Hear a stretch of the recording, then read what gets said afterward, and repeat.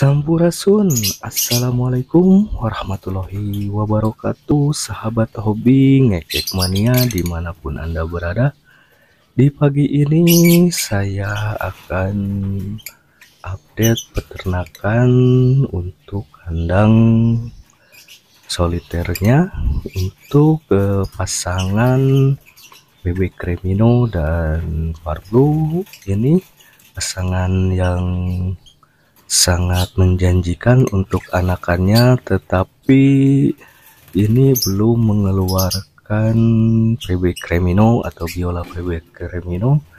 Semoga di ternak kali ini untuk panennya bisa membuahkan hasil karena ini anakannya selalu keluar para ataupun blue FC ataupun ewing dan sejenisnya lagi belum mengeluarkan PB Cremino.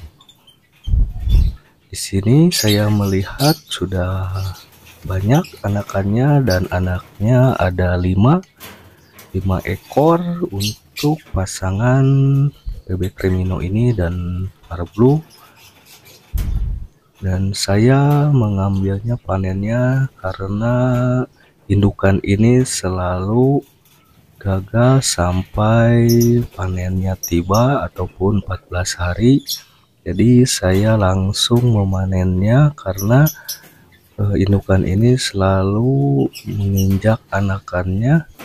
Selalu anaknya itu sedikit dari telurnya 6 menetas 6 hanya menghasilkan dua lobet viola saja.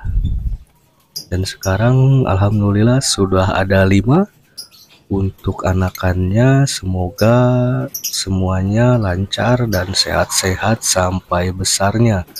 Dan ini adalah indukannya bebek Cremino ini. Dan ini anakan dari pasangan yang super mewah super cantik untuk memasangkan ini. Dan saya berharap panen kali ini keluar lobet biola VB Crebino untuk panen kali ini saya menunggu indukan betina dan jantannya keluar dari glodok. Dan setelah itu saya menutup lubang masuk glodoknya sama paralon sama baterai ini. Jadi inilah pasangan yang sangat mewah. Mudah-mudahan kelima anak nya itu mengeluarkan PB Crimino jadi untuk sahabat hobi semuanya tetap semangat dalam berternak dan ciptakan breeding-breeding untuk lovebird jenis apa pun agar tidak lenyap di muka bumi ini. Dan indukannya ini sangat-sangat direkomendasikan dan ini anakannya dan saya kira kelima anakan ini kalau semuanya tidak ada yang mati itu pasti akan mengeluarkan PB Cremino anakan-anakan ini semuanya tidak ada yang paruh merah dan selalu keluar paruh oranye dan paruh putih dan ini melihat anakannya ini baru yang terakhir itu bungsunya itu sudah umur dua hari. Dan untuk yang besarnya itu sudah 10 hari. Jadi saya ambil untuk eh, pengamanan. Mudah-mudahan uh, bisa sampai besar dan sehat-sehat semua untuk lopet anakan ini. Dan perlu sahabat ketahui tentang pasangan lopet biola ini.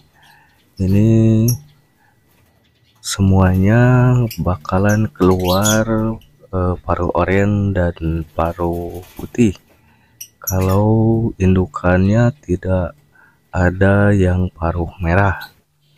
Dan saya langsung aja bawa ke inkubator buatan sendiri ini untuk memastikan untuk kehangatan pada anakan lobet yang tadi panen.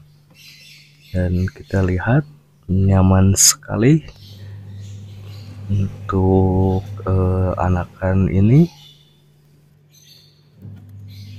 Oke sahabat semuanya itulah sharing pengalaman tentang panen hari ini di pagi yang cerah. Semoga sahabat hobi sehat selalu dan dilancarkan rezekinya dan tetap semangat untuk berternak lovebird dari saya story lovebird wassalamualaikum warahmatullahi wabarakatuh. Atur nuhun pisan ke semuanya.